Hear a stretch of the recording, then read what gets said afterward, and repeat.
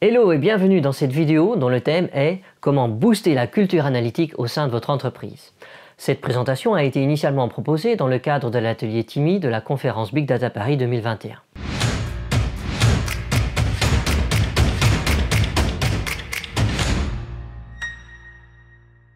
Alors tout d'abord, j'aimerais commencer par une petite parenthèse pour me présenter. Je suis Frank Vandenbergen, le CEO de la société TIMI. Et en 2007, j'ai créé la société TIMI dont l'objectif de permettre à chacun d'extraire de la connaissance et de la valeur hors de ces données. Alors si vous ne nous connaissez pas encore, voici où on se positionne par rapport à la concurrence. Ce que vous voyez, c'est le cadran G2 pour les solutions de data science. Alors sur l'axe des X, on voit que Timi est parmi les meilleures solutions en termes de satisfaction client. Et l'axe des Y représente juste le nombre de clients, et là on est juste au milieu. Alors le premier produit que nous avons sorti en 2009 était Modeler. C'est le premier outil d'auto-ML de la planète. Et en 2021, Modeler reste la solution AI la plus avancée de la planète pour les banques, les assurances, les télécoms et les chaînes de supermarchés.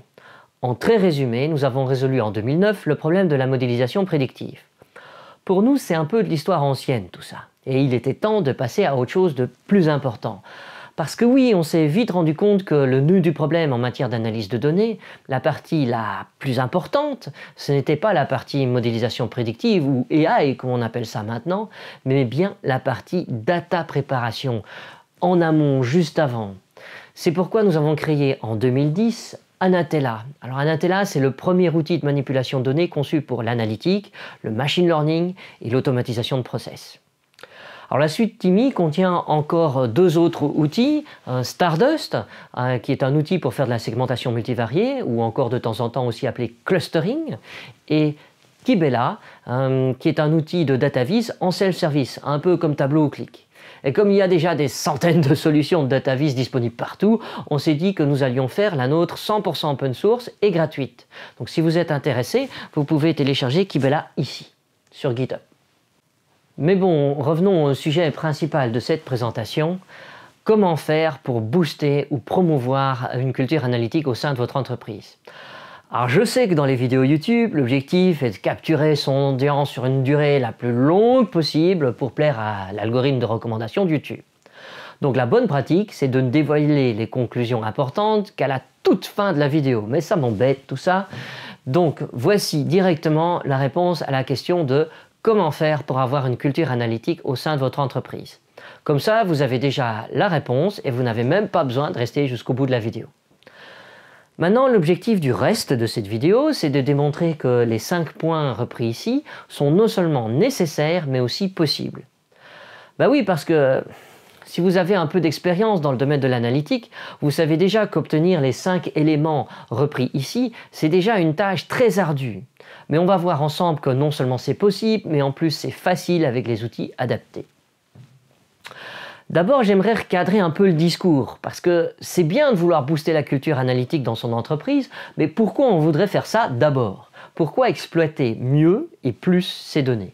Alors, il ne faut pas perdre de vue que l'objectif final de l'analyse de données, c'est faire plus de profit ou sauver des vies, hein, ou encore d'autres utilisations plus exotiques. On ne fait pas ça pour s'amuser, on doit arriver à un résultat. Or, il faut savoir qu'une vaste majorité des projets analytiques sont des échecs. Pourtant, il existe un moyen pour garantir le succès de vos initiatives analytiques, la culture analytique.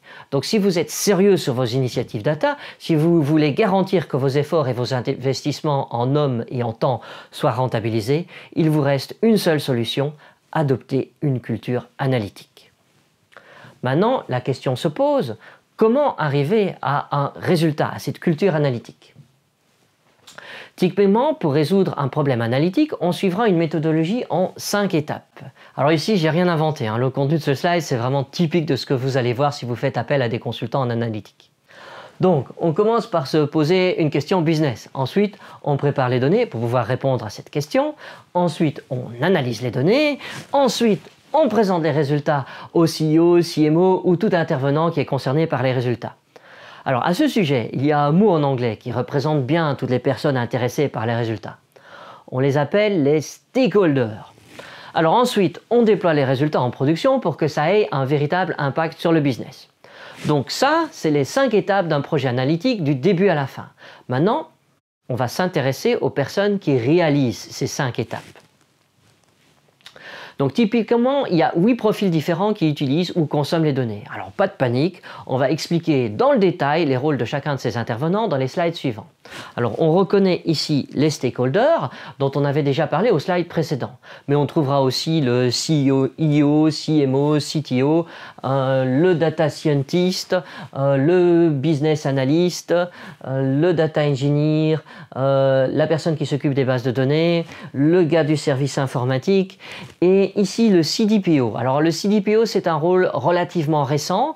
Euh, c'est le Chief Data Privacy Officer. Il s'occupe de garantir la confidentialité des données en accord avec la législation européenne pour le GDPR. Ben, examinons maintenant dans le détail ce que font chacun de ces profils. Le CEO, ben, il dirige la société. Hein. Les gars du service IT, ils font en sorte que les PC fonctionnent bien. Le CDPO, on a déjà vu au slide précédent. Euh, le data engineer, euh, lui, il achète des machines dans le cloud pour optimiser l'infrastructure et pour tenir la charge. Alors, il y a un point commun à tous ces profils, il n'y en a aucun qui regarde les données. Alors, commençons par le stakeholder. Dans la littérature, ce profil est aussi parfois appelé business stakeholder ou stakeholder métier. Mais pour simplifier les choses, dans cette présentation, on va juste l'appeler stakeholder. Donc c'est typiquement lui qui fait tourner la boîte. Il connaît bien le business, il sait comment faire du profit, sauver des vies. Ensuite, il y a le SQL Guy. C'est celui qui s'occupe de stocker les données dans la base de données. Et pour faire ça, il est régulièrement amené à effectuer des transformations sur les données. Ensuite, il y a le business analyst. C'est celui ou celle qui comprend bien les données et qui est capable de créer des KPI pertinents ou des modèles prédictifs pour optimiser le business. Le data scientist, lui, écrit du code complexe, étudie les algorithmes de machine learning et optimise leurs paramètres.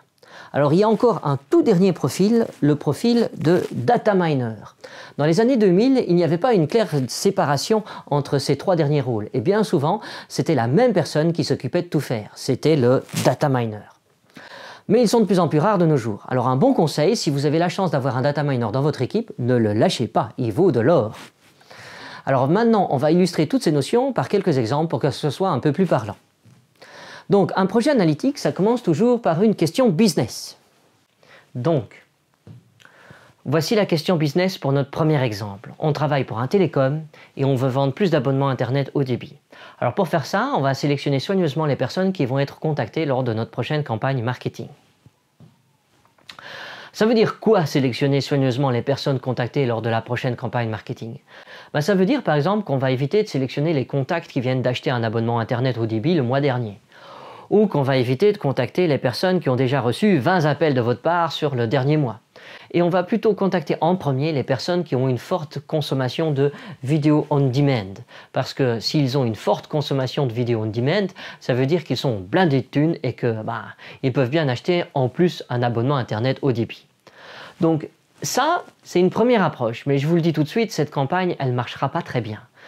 Ce n'est pas une approche qui est assez raffinée. Il faut passer à une seconde itération plus raffinée. Alors, qu'est-ce qu'on pourrait faire d'autre pour améliorer la sélection? Je vous laisse réfléchir un peu.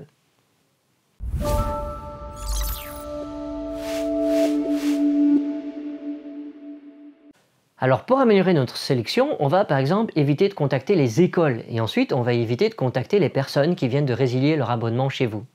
Finalement, on ne va pas contacter non plus les personnes qui ont été coupées pour impayés, parce que si elles ne savent déjà pas payer leur facture maintenant, elles vont certainement pas acheter un truc en plus. Bon, c'est déjà mieux, mais c'est pas encore ça. Il faut passer à une troisième itération. Qu'est-ce qu'on pourrait faire d'autre pour améliorer la sélection? Alors, je vous laisse réfléchir de nouveau un peu.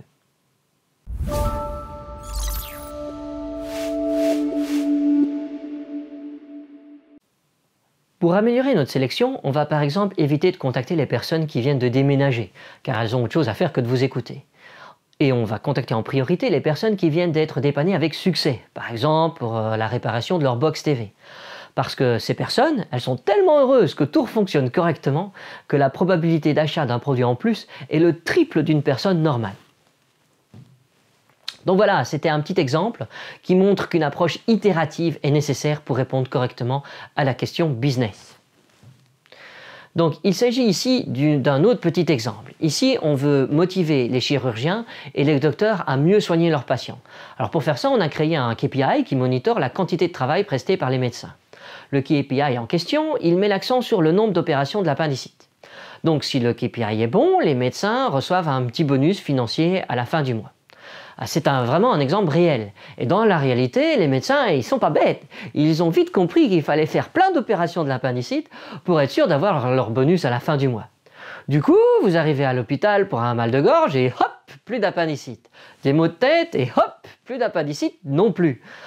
Donc on voit bien ici, au travers de cet exemple, qu'il est nécessaire d'avoir une approche itérative pour faire une seconde itération, pour améliorer le KPI, pour enlever cet effet pervers qui est que tout le monde est opéré de l'appendicite. En fait, quand on fabrique un KPI qui monitore l'activité de personne, il y a toujours, tôt ou tard, un effet pervers du KPI qu'on n'aurait jamais pu anticiper, qui se manifeste. Donc, c'était de nouveau un petit exemple pour expliquer qu'il est nécessaire d'avoir une approche itérative pour raffiner ses KPI. Sans une approche itérative, on va créer des KPI irrelevants et au final, tout le monde ignorera les KPI car ils ne sont pas jugés assez pertinents.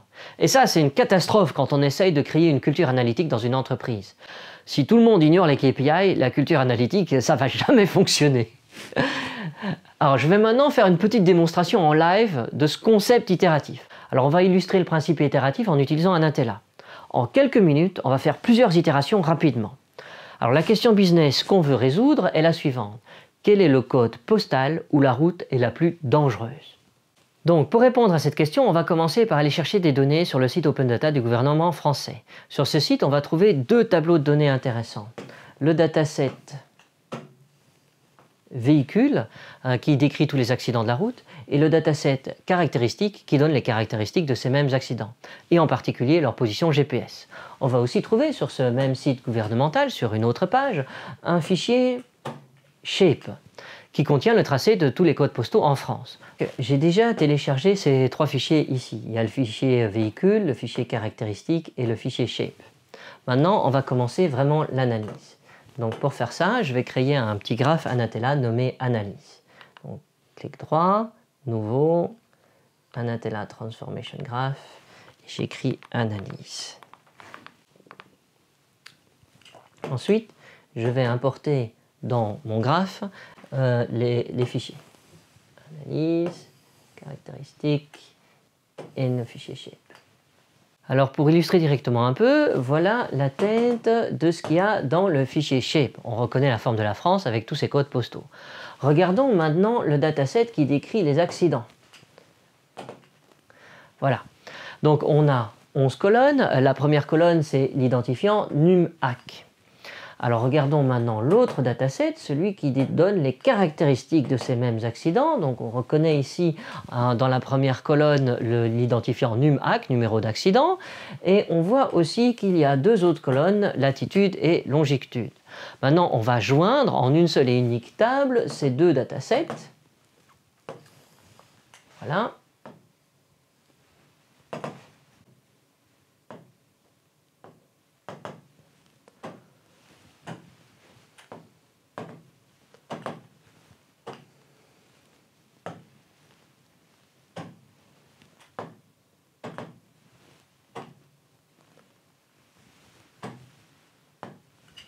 Voilà. On a maintenant, pour chaque accident de la route, ici, sa position GPS. Une première idée, c'est de visualiser sur une petite carte tous ces accidents. Pour faire ça, on peut employer l'outil de BI inclus gratuitement dans la suite Timi, c'est-à-dire Kibela.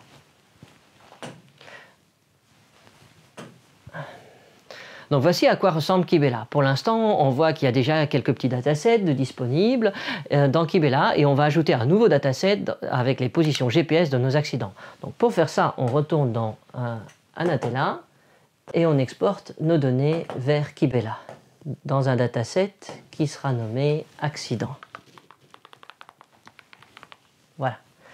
Alors, on voit euh, peut définir une colonne avec des coordonnées GPS, mais il faut encore la faire cette colonne. Donc on va ajouter une petite calculette pour faire les coordonnées GPS.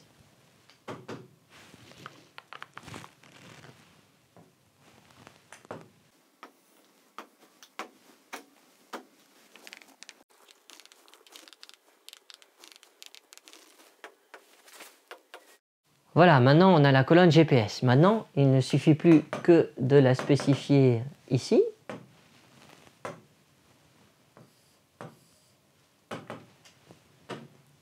Et d'exporter nos données vers Kibela. Ah, ça ne fonctionne pas directement. La boîte passe en rouge. Et on peut voir dans la fenêtre de log, ici, une petite, euh, un petit message d'erreur qui aide à comprendre ce qui se passe. Ce message dit qu'il faut avoir dans la colonne GPS deux nombres séparés par un espace. Alors allons voir cette colonne GPS.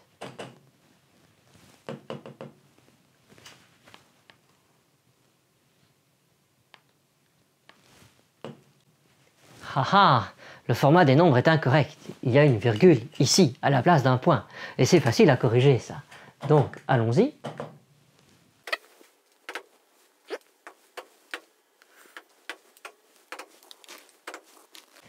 Et on réessaye l'exportation et cette fois-ci tout fonctionne. Alors allons regarder dans notre browser pour voir si le dataset est bien apparu. Donc on a déjà quelques datasets ici, on va faire un refresh et on voit le dataset accident qui vient d'apparaître. Alors on va directement faire une petite visualisation.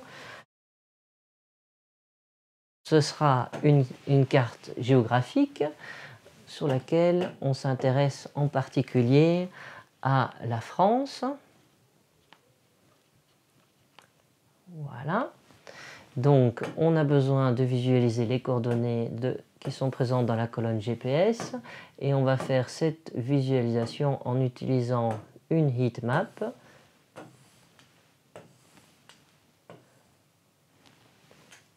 Et voilà. Donc on voit qu'il y a beaucoup d'accidents à Paris. Ah, encore plus zoomer sur Paris. Mais juste avec cette carte, c'est difficile de savoir quel est le code postal qui est le plus dangereux. On a déjà ici une première approche qui donne un premier résultat. De toute façon, c'est toujours intéressant de regarder les données. Mais comme toujours en analytique, il ne faut pas s'arrêter en si bon chemin. Il faut continuer vers une seconde itération. Alors j'aimerais quand même attirer votre attention sur le fait que ce résultat partiel, il n'est en soi pas mauvais. Au contraire, ce résultat partiel fait partie d'une démarche analytique itérative. C'est juste la première itération. Et sans cette première itération, on n'aurait pas pu aboutir à l'itération suivante.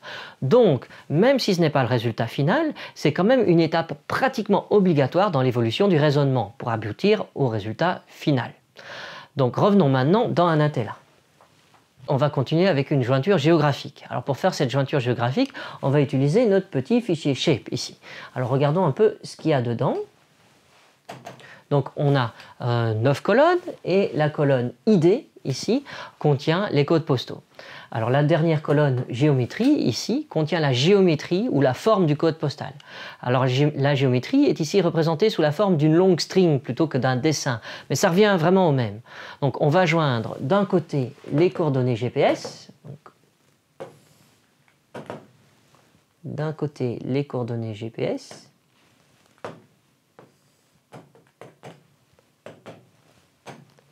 et de l'autre côté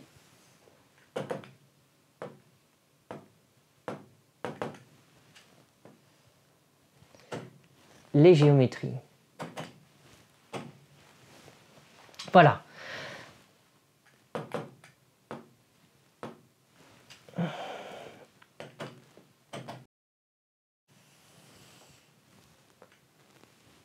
Voilà. On a maintenant euh, pour chaque accident le code postal exact dans lequel il a lieu. Il ne reste plus qu'à calculer le nombre d'accidents par code postal et ça c'est facile avec une simple boîte d'agrégation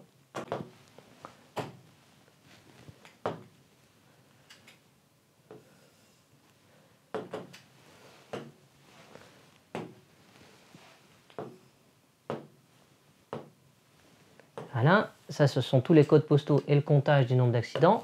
Et on va trier ça sur le comptage dans l'ordre décroissant. Alors le code postal qui a l'air le plus dangereux, c'est le 7516, ce qui correspond au bois de Boulogne. Alors, pour moi, c'est assez étrange. Comment ça se fait que dans le bois de Boulogne, dans un bois, il y a plus d'accidents que sur le périphérique de Paris? Alors je ne vais pas tenter d'expliquer ce phénomène car ce n'est pas le propos ici, mais peut-être est-ce que les conducteurs sont distraits par quelque chose? Donc maintenant, on vient juste de finir une seconde itération de l'analyse. On pourrait se dire que les résultats, ben, ils sont pas très cohérents. Comment pourrait-on faire pour les améliorer? Une première idée pour améliorer les résultats serait de se dire que le nombre d'accidents en lui-même ne représente pas bien la dangerosité d'un code postal. En effet, sur un code postal gigantesque avec beaucoup de longues voies roulables, il y aura plus d'accidents juste par construction. Juste parce qu'il y a plus de longueur de route et donc plus de chances de se viander. Le résultat, c'est qu'il y a plus d'accidents sur un grand code postal, mais ça ne veut pas dire qu'un grand code postal est vraiment plus dangereux. Donc, il faudrait créer une nouvelle colonne nommée dangerosité, qui serait une espèce de normalisation du nombre d'accidents qui tiendrait compte de la longueur totale de toutes les routes présentes dans un code postal. Alors malheureusement, on n'a pas ces données relatives à la longueur des routes dans un code postal. Alors on va regarder ce qu'on a.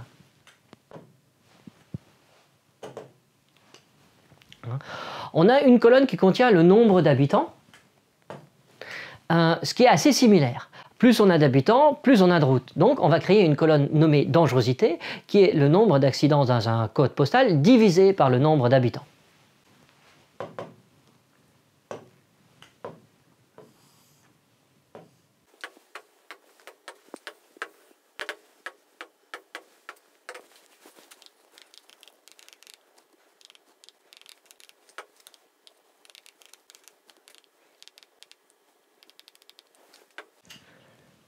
Voilà, on a maintenant la colonne dangerosité. On va trier la table pour plus facilement voir les codes postaux les plus dangereux.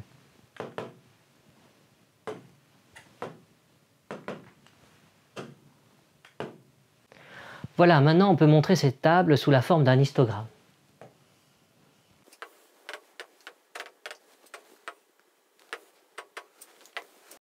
Bon, ça donne rien parce qu'il y a trop de codes postaux différents, donc on va juste regarder les 20 premiers.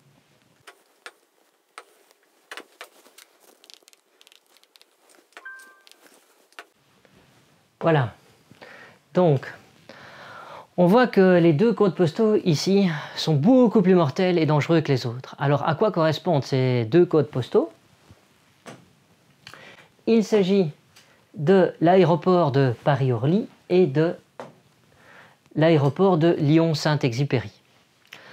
Donc, si on arrête notre analyse à cette itération, on va tirer comme conclusion que les avions provoquent des accidents de la route. Bon, évidemment, en pratique, ce n'est pas vraiment le cas. Il faut faire une troisième itération pour fixer ça. Regardons la population exacte des deux codes postaux avec les deux aéroports.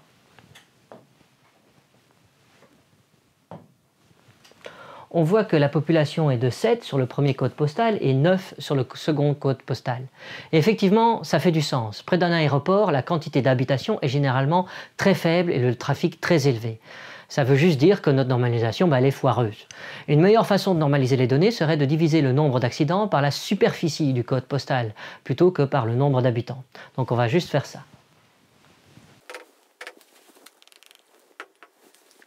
Voilà, on voit que le code postal le plus dangereux est le 75-4 ou 75-4 en français de Belgique. Ça correspond au centre exact de Paris. Voilà, ça, ça fait du sens. Donc c'était une petite démonstration en live pour illustrer l'importance de l'approche itérative quand on se pose une question analytique. Dans le petit exemple, ici, il s'agissait d'une question ultra simple, mais elle illustre quand même bien le propos. Il faut bien se dire qu'en entreprise, un expert métier avec 10 ou 20 années d'expertise fera des raisonnements bien plus raffinés et bien plus subtils que ce que nous venons de faire en quelques minutes sur cet exemple simple. En résumé, pour que les experts métiers puissent adopter une approche analytique, il faut, petit 1, qu'ils puissent travailler de façon itérative et, petit 2, qu'ils puissent facilement faire plein d'itérations. Si vous vous souvenez, il y a quelques minutes, je vous ai montré ce slide. Il représente la façon traditionnelle de faire des projets analytiques. C'est une approche qui s'appelle l'approche waterfall. Et elle a un gros défaut, elle n'est pas itérative. Cette approche waterfall, elle est séduisante, mais en analytique, elle ne fonctionne pas. C'est d'autant plus dommage que cette approche vous est imposée par plus de 90% des outils utilisés pour faire des projets en data science, des projets en analytique. Parce qu'en data science, quand on a développé un petit bout de code pour répondre à une question business précise, il est commun de revenir sur ce petit bout de code après quelques mois et de le modifier en profondeur parce qu'on a maintenant une meilleure compréhension du besoin business à résoudre. Pour ça, la data science, c'est un domaine un peu spécial. Euh, malheureusement, presque tous les développeurs qui tentent d'ajouter des fonctionnalités de data science dans leurs solutions ne comprennent pas ce besoin itératif. Et au final, il n'y a presque aucune solution analytique qui permette d'itérer facilement et rapidement.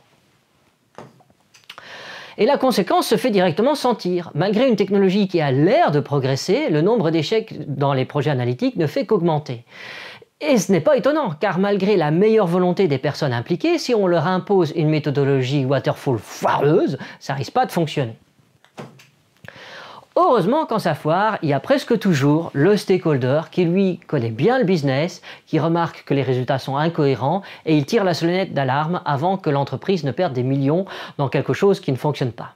Alors, le premier réflexe quand ça foire, c'est de chercher le coupable. Et le coupable, ça ne peut pas être le data scientist, parce qu'il était occupé à optimiser le paramètre epsilon de l'algorithme stochastique de descente de gradient par une optimisation de la matrice hessienne de la loss fonction convexe de la rétropropagation du réseau de deep learning, et donc clairement, ça ne peut pas être de sa faute. Ça ne peut pas être non plus la faute du business analyst, parce qu'elle, elle a simplement analysé les données qu'elle a reçues du SQL Guy. Et ce n'est clairement pas de sa faute à elle si les données qu'elle a reçues étaient foireuses. Donc forcément, le coupable, c'est le gars ici, le SQL guy. Et lui, il en prend plein la tête. Et il en a marre qu'on lui tombe dessus toutes les 5 minutes. Alors il fait plus rien du tout, et tout foire encore plus qu'avant. Donc il ne s'agit pas ici de chercher un coupable, mais bien de changer la méthodologie de travail. On va maintenant voir comment on peut faire pour adopter une méthodologie qui permette, 1. d'avoir des projets analytiques qui réussissent, et qui permet, petit 2, de propager une culture analytique dans votre entreprise. Donc nous avions déjà vu qu'une première bonne idée, c'est d'abandonner la méthodologie waterfall et de la remplacer par une approche itérative. Alors ça veut dire quoi en pratique? Ça veut dire que le processus analytique n'est plus représenté par une flèche rouge comme ici, mais bien par un cercle, une boucle, une boucle qui représente bien l'aspect itératif du processus. Alors l'approche itérative, c'est le premier des cinq points clés qui permettent à votre entreprise d'adopter une culture analytique. Alors comment ça marche? On commence par préparer les données. Ensuite, on les déploie et ensuite on regarde les résultats. Ce qui nous amène ensuite à revoir la façon dont nous avons répondu à la question business et à raffiner cette même question business afin d'améliorer notre approche. Comme notre question business a changé, il est nécessaire de changer la data prep pour pouvoir répondre à la nouvelle question business. Et on redémarre ensuite une nouvelle boucle. C'est vraiment un processus itératif et à chaque itération, les résultats et les questions s'améliorent pour délivrer de plus en plus de valeur et de connaissances pour votre entreprise. On arrive finalement à un cercle vertueux qui garantit une amélioration continue de tous les processus au sein de votre entreprise. Alors bien évidemment, ce qu'on aimerait, c'est de faire le plus d'itérations possible en le moins de temps possible. Alors qu'est-ce qui bloque? Qu'est-ce qui prend du temps dans ce cercle vertueux? Eh bien, c'est la data préparation. Elle prend 80 à 90% du temps. Et ça, c'est un fait connu. Tous ceux qui ont déjà fait un peu de data science le savent. Par exemple, le magazine Forbes a fait une enquête sur le sujet et ils arrivent aux mêmes conclusions. 80% du temps de travail d'un projet analytique est consacré à la data préparation. De même, le magazine New York Times dit exactement la même chose. La data préparation prend 80% du temps de travail d'un projet analytique. Et finalement, le magazine InfoWorld répète encore la même chose. Les travaux de data préparation prennent 80% du temps de travail d'un projet analytique.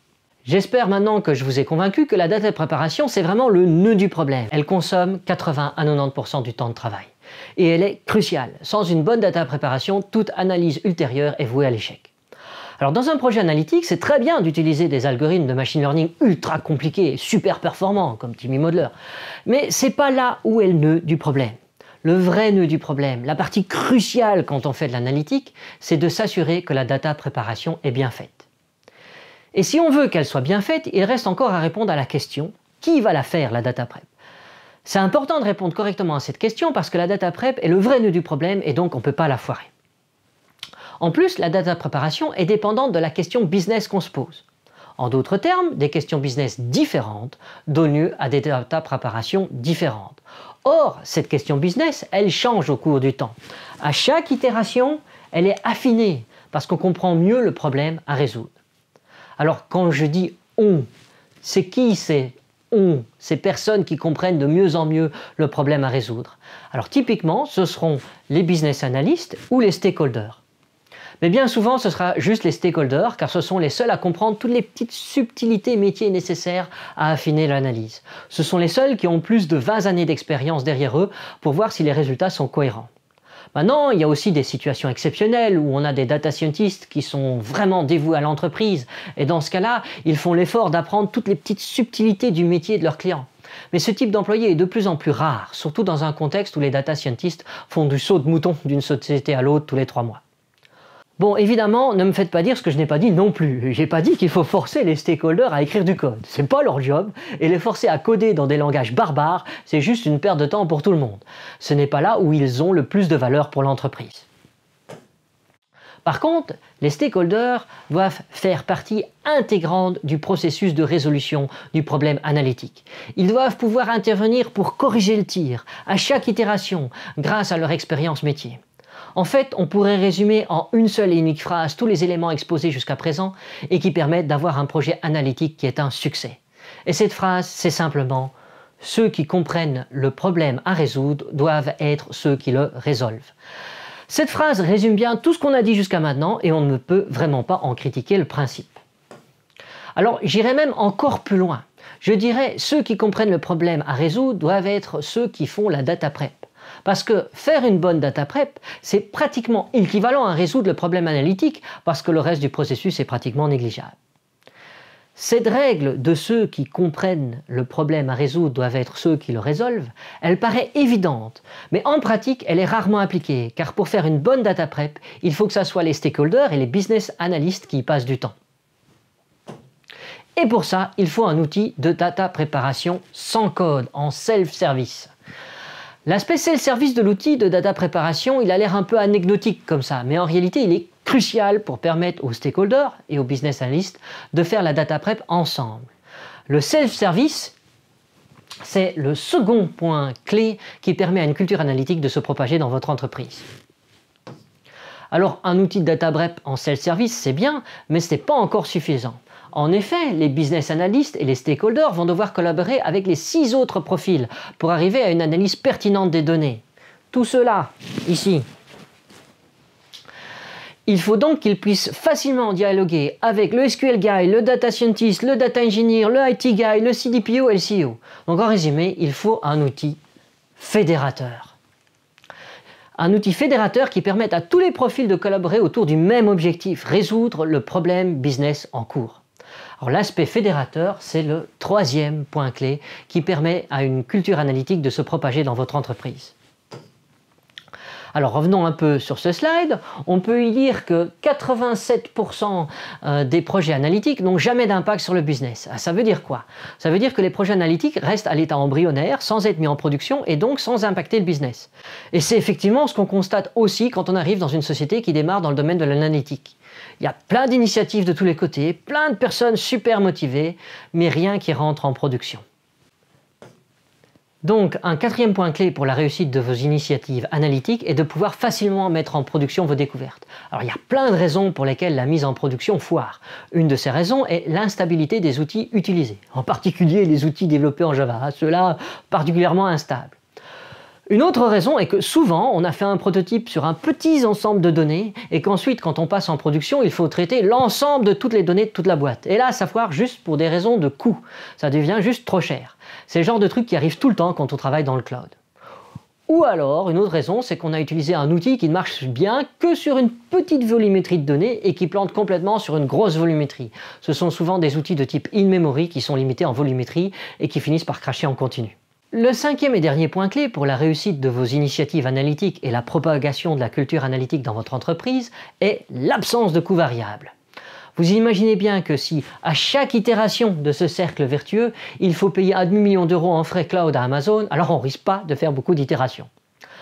Un autre effet pervers des frais variables est de pénaliser et de réprimander les data scientists qui sont les plus motivés dans votre équipe. En effet, un jeune data scientist enthousiaste qui fait un usage intensif de votre infrastructure pour explorer au mieux vos données et en retirer toute la valeur, eh ben, celui-là, il coûtera beaucoup plus cher que ses collègues moins motivés qui passent leur temps à boire du café à la machine à café. Et à la fin du mois, le data scientist motivé, il est réprimandé par le directeur financier à cause des importants frais cloud qu'il occasionne, surtout en comparaison à ses collègues. En résumé, un outil cloud de data science qui fonctionne en coût variable a pour effet de pénaliser, réprimander, décourager et finalement empêcher vos meilleurs éléments de travailler. Vraiment, les frais variables, ça bloque complètement toute chance de succès de vos initiatives analytiques. Voilà, nous avons vu ensemble les 5 points clés nécessaires à la réussite de vos initiatives analytiques. Maintenant que nous avons connaissance de ces 5 points clés, il reste encore à voir comment faire pour les obtenir. Alors le reste de cette présentation est un résumé synthétique des 5 points que nous venons de découvrir ensemble, des conseils pour arriver à une situation où votre entreprise bénéficie de la présence de ces 5 points clés. Et quand ça arrive, les possibilités deviennent infinies. Sky's the limit. Alors, la culture analytique est basée sur la simple idée que ceux qui comprennent le problème à résoudre doivent être ceux qui le résolvent. Grâce à cette idée, vos initiatives analytiques réussissent et la culture analytique se propage dans votre entreprise.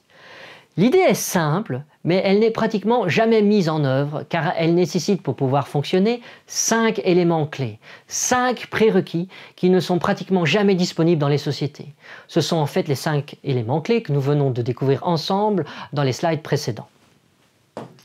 En résumé, pour créer une culture analytique en entreprise, il vous faut d'abord un outil qui permette une approche itérative. Pas de waterfall. Cette approche itérative est illustrée ici à l'aide du petit cercle qui tourne. Ensuite, il vous faut un outil de data préparation qui fonctionne en self-service pour permettre à tous ceux qui comprennent le problème business à résoudre ben, de le résoudre.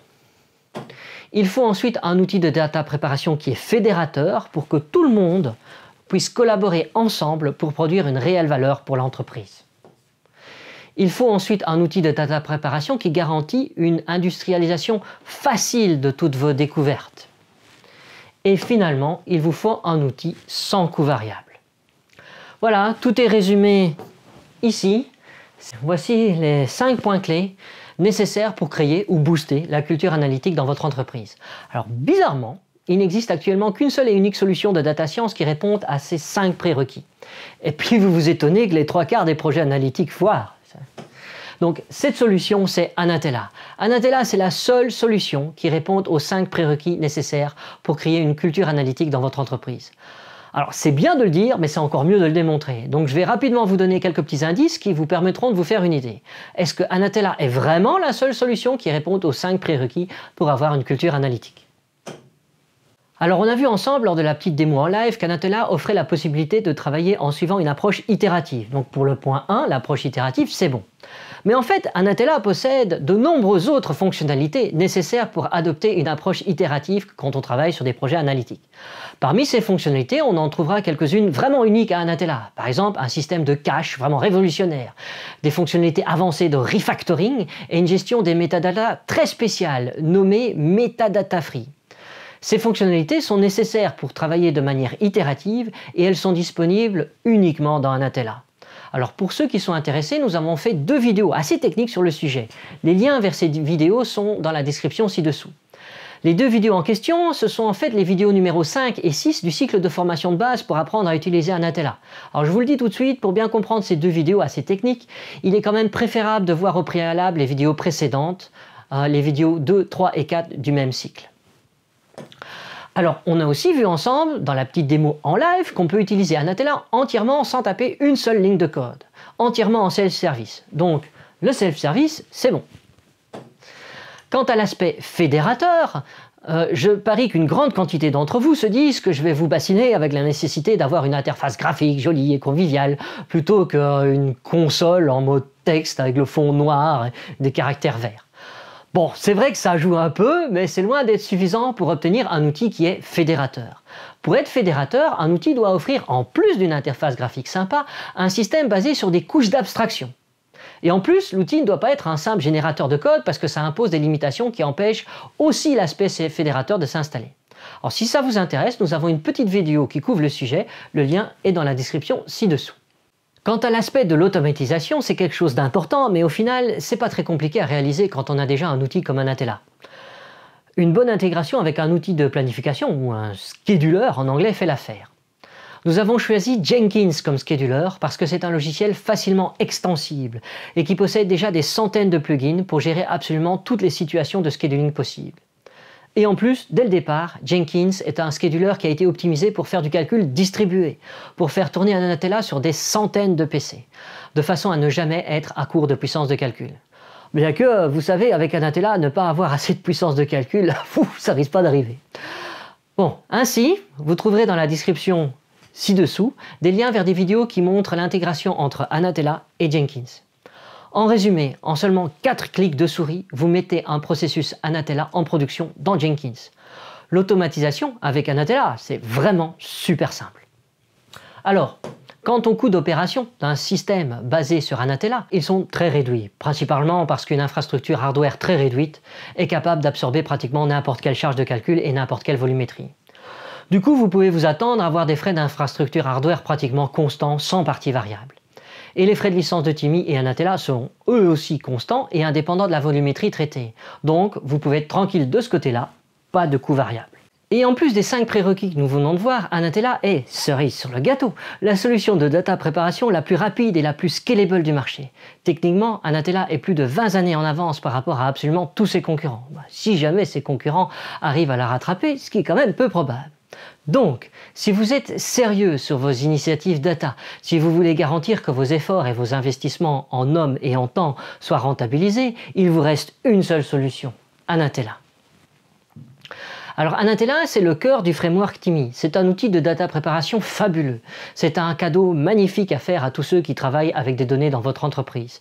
Mais ce n'est pas le seul outil dans la suite Timi. Il y a encore Modeler, un outil de AutoML, Stardust, un outil de clustering en 3D temps réel, et Kibela, un outil de DataVis. Alors ici, il y a quelques témoignages de gens heureux parce que leurs initiatives analytiques réussissent. Alors si vous allez sur G2, vous trouverez encore de nombreux autres témoignages très positifs sur Anatella et Timi. Il faut bien se dire que quand j'annonce que Anatella est la seule solution de data préparation qui réunit les 5 points clés ci-dessus, ce pas des arguments marketing fallacieux, c'est vraiment du réel. Les témoignages que vous trouverez sur G2 démontrent que tout cela est bien réel. Pour vous dire, sur G2, on a le plus haut taux de satisfaction de toutes les solutions de data science. Chez Timmy, nous sommes animés par une valeur en particulier qui est l'éthique. Et dans cette optique, avant tout profit, ce que nous désirons, c'est voir vos projets analytiques aboutir. Comme de plus, chaque société aborde l'analytique de manière différente, votre période d'essai gratuite de Timmy est flexible pour s'adapter à votre façon de travailler. Alors généralement, deux mois sont suffisants pour comprendre tout ce qu'un outil analytique génialissime comme Timmy peut vous offrir. En plus, vous bénéficiez tout du long d'un accompagnement sur mesure, et ce jusqu'à ce que vous ayez pu démontrer l'intérêt de l'analytique, de la culture analytique et de Timmy dans votre entreprise avec votre premier succès. Donc maintenant, il ne vous reste plus qu'à faire le pas et à rejoindre les centaines de sociétés dynamiques qui innovent à travers l'analytique grâce à Timmy. Et pour faire le pas, c'est simple. Vous allez sur timmy.eu, vous cliquez sur le gros bouton télécharger Timmy et ensuite vous cliquez sur le bouton turquoise au milieu. Il y a un wizard automatique qui va installer Timmy et après quelques minutes, vous pourrez commencer à jouer avec vos données. Pas besoin de droit administrateur à aucun moment, tout s'installe tout seul. Voilà, maintenant c'est à vous de jouer. Il ne vous reste plus qu'à vous lancer. Un tout grand merci pour votre attention et une excellente journée à vous.